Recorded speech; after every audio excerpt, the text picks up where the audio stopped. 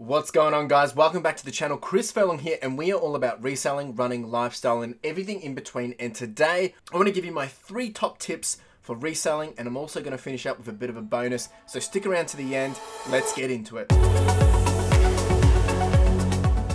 So when you jump into reselling, whether you are new at this or you've been doing it for a while, these are my tips and I think they will be of value to anyone starting or wanting to get started, but also it might be something relevant to you to just check yourself if you've been doing this for a long time. Of course, along the way, if you have different opinions, thoughts, comments, let me know below in the comments and I'll be more than happy to have that conversation.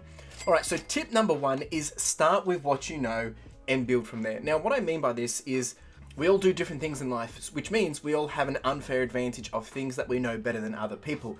For instance, you might be really good with lawnmowers, you might be really good with gardening equipment, you might be a Star Wars expert, you might be someone that loves Pokemon, you might be someone that is all about musical instruments, you might be someone that loves art, or you might be someone that's into cameras, you might be into pop culture, you might be into DVDs, you might be into so many different weird and wonderful things, and that is your unfair advantage. So understand what is your bread and butter. Understand what can you walk into a shop and know that that's worth something simply because you know what you would pay for it.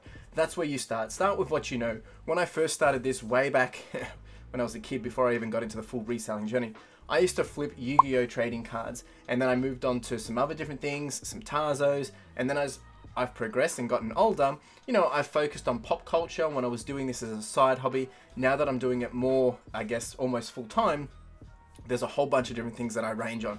DVDs, video games, books, um, toys, all things that are relevant to me as a baseline. And then I start to expand, you know, research and find what else I can bring into the house. But if I was you, I would focus on something that you love, something that you are passionate about, something that you can do less work to be able to get the sale because that is going to be your unfair advantage. Let me know in the comments what is your niche. Tip number two is make sure you sign up for the Australia My Business Post.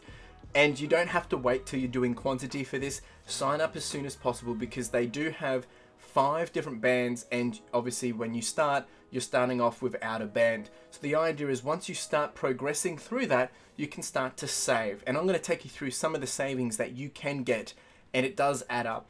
Now at the moment an average cost of sending something just a basic uh, parcel or whatever it is is about $9.15 now as soon as you start to get a bit of a throughput of 8 plus items within a rolling 8 week cycle, that's when you can get onto the band. Now, of course, if you're not signed up, you have to start from scratch when you sign up. So sign up as soon as possible, even if you're getting one item a week. As soon as you tick over that 8 items over an 8 rolling week, that's when you're going to start getting the discounts. So to give you some understanding, I've done some averaging and you know the average savings per band. So band one, and I'll put this all up on screen, you can have a look. Uh, so band one is about 7.5% on average you'll save, which is about 94 cents per item. Band 2, we bump up to around on average 13% and you'll be saving about $1.62. Band 3, 16.3% with around $2.03 savings. Band 4, 19.6% with about $2.44 savings. And Band 5, 21.6%, uh, averaging about $2.69 savings. Now this is all just local, domestic, Australia, not international, but it does also apply for international as well. And I've just taken these numbers from my own experience, so it will be slightly different to everyone, depending on what you're selling, of course. But when you think about some of those numbers, if you take band 2 or band 3, you know, you're sitting around $1.60, $2 per item in potential savings.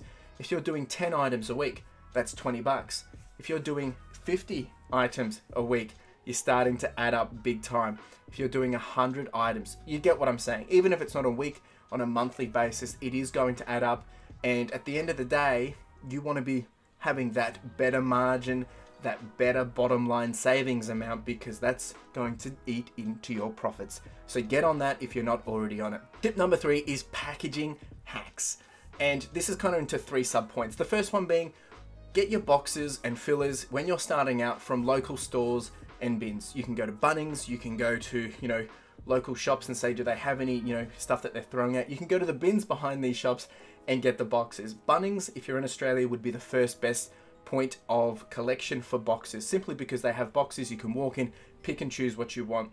Now, that's not always going to be what you want, um, but it is a quick way to be able to do it. Now, as you start to scale, as you start to get a bit more of a throughput, you know, you might want to enable a bit more efficiency into your processes. So my suggestion is start to leverage some of the vanilla boxes. And what I mean by vanilla boxes is off the shelf, basically what Australia Post is selling. Now I use a range of different ones um, and satchels as well. And I'll put these all up on screen as I go through, but I use the small, medium and large boxes. And I also use the small satchels and the medium satchels. Now the reason why I do this is I can then start to dictate and understand when I'm purchasing something, what it's going to fit in. So put it this way, if I go into a store and it's $3 that I'm paying for something, now I know that's going to fit into a small box based on the measurements just from muscle memory. And I know that's going to be roughly, depending on what band you're on, it could be between $7 and uh, $9. So already I know that if I'm giving free postage, we're already looking at, let's just round it around to $8. If I've paid $3 for the item, we're sitting at around $11 cost of the item already. So the cost of goods plus the postage. So that's how much expenses are going to be. So then if you're going to sell it and you're going to want to get, you know, potentially a better margin, you're going to be wanting to make sure that you can sell this for $20 plus because there's still going to be fees as well. So that just helps me with my, you know, firming up if something is even viable to be purchasing. Of course, if you're getting things in bulk, it's a bit different. But that's the way I do that. And then also when it comes to packing and actually getting the job done in terms of getting it ready to send, you can just pick up, quickly put it in. You don't have to worry about measuring. You don't have to worry about doing all that jazz. Now, at the same time, some of the additional things that you can add into that for time saving, which is sub point number three, is you know investing in whether it's a Dymo printer um, and using some of that stuff from home. Meaning, I can pack and get everything ready at home, 5, 10, 15 packages. I can do all the labeling at home, see all the discounts I'm going to get, put the labels on, and then I can just go to the post office and drop it off. It saves me a bit of time and just from an efficiency standpoint, I don't have to sit there in line, let them measure it up and weigh it all up and all that jazz. So, you know, depending on how many items you're doing, if you were doing, you know, five plus items, you know, you could end up saving 10, 15 minutes every time you go into the post office. So in the longer run, it does save a lot of time. Let me know if you do that and your thoughts on that too. The fourth point, or in this case, the bonus tip I wanted to take you through is know your data. And what I like to talk about is the brilliant basics. This is different for everyone, but if you are starting out or if you have been doing this for a while, the things that I like to track and I think are super important that you understand, especially from a month or week basis, is what are your cost of goods? What are your postage costs? What are your fees? What are your profits or your margin? And what is your cycle time? Now, having those six categories is going to help you understand, you know, if you're leaking you know, potential dollars, if you're selling things, if you're not selling things, um, and cycle times. It helps you just give a bit more of a guesstimate of where you're going to be ending up on a weekly or monthly basis. Now, you can apply some different dimensions to that data, such as, you know, categories or where did you source it from or where did you sell it from? Um, you know, was it Facebook or was it eBay or was it Depop? And then you can add in other things such as you know, average sale price, average daily sales, or how much profit per day. And you can start to get some running averages, some running totals, and then you can start to, you know, potentially forecast what a week is going to look like or what a month is going to look like based on what you're putting through. And of course, you can then review this data and see what categories are doing better, what categories aren't necessarily, you know, selling as quick, which enables you to then decide is it better for you to be spending your time on different categories rather than some of the items that aren't selling. For instance, for me, my best category at this point in time is books. They seem to sell the quickest with the highest profit. Now, next would be DVDs, video games, and toys.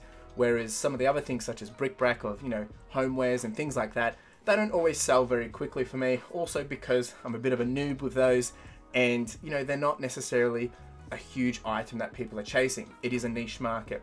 Whereas the DVDs, the video games, the books, and the toys, a lot broader market, and you know there's a lot more appetite for that. But that's my thoughts. Uh, of course, let me know in the comments below what you think about this. I hope this video has been of a great value to you. Let me know what you thought. If you've got your own tips and tricks, let me know in the comments below. Would be more than happy to hear yours or, you know, take suggestions or ideas as well. I'm no pro at this, but I have been doing it for a while and I wanted to share some of the things I'm doing on a day-to-day -day basis and making sure that I do have in place to get me the best result. And I think this could be a key video for those that are starting out. Uh, there will be more tips videos like this coming out. If there was something in particular that you would like to see, do let me know. More than happy to share. I've got links down below to some of the different things that I am using if you are keen to use the same stuff that I am. And not just with those mailer boxes or bags, but also some of the postage supplies. Now, of course, as I said, if there's anything else you'd like to see, let me know in the comments below. really do appreciate you being here. And make sure you like, subscribe, comment, do the whole shebang, and hustle. Ciao.